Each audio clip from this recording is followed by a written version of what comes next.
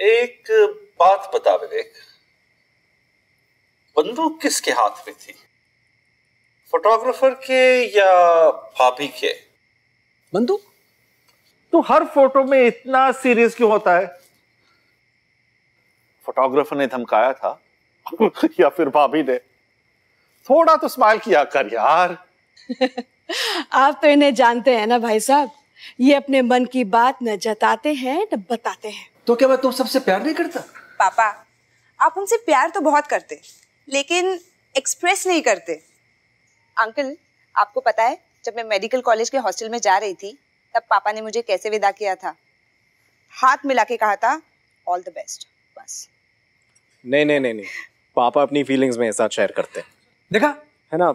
आखिर डांटना भी तो एक्सप्रेशन ही होता है ना। ठीक है। अरे पापा आप तो पापा व्हाट यार।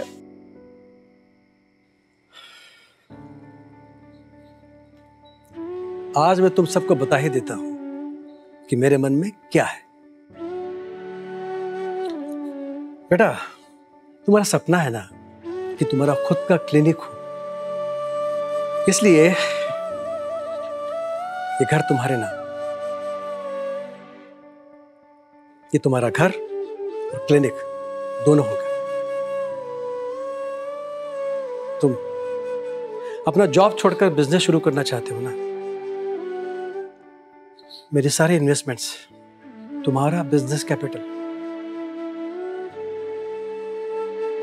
और तुम कई सालों से कह रही हो ना, पहाड़ों में घर बसाते हैं। ये उस घर की चाबी।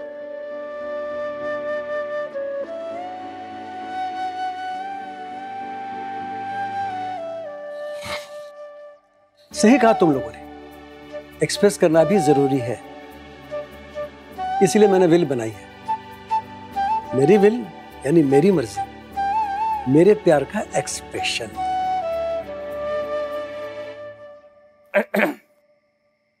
और मुझे क्या मिलेगा? तुझे मिलेगी मेरी एक फ्रेम्ड फ़ोटो हंसती हुई।